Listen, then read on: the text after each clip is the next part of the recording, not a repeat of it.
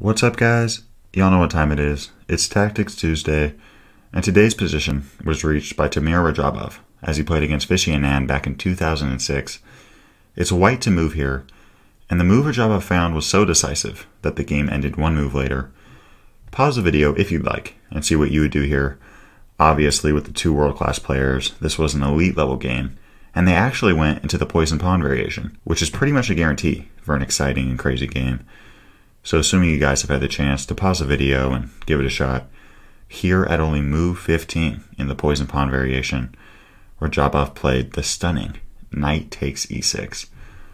What is the idea here? Well, after a move like f takes e6, now bishop h5 check can be played.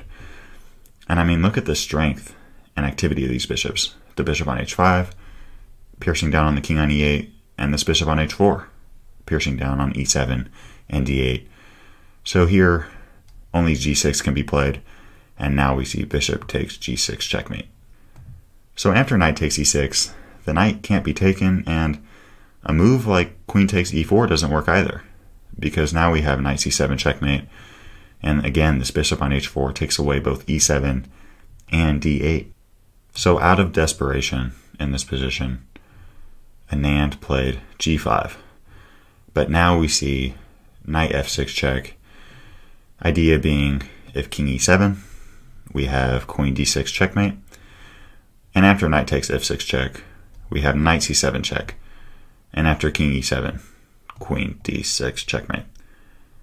So I hope you all enjoyed this video and puzzle. Radjabov is a super exciting player to watch, and I highly recommend you guys check out some of his games if you ever get the chance.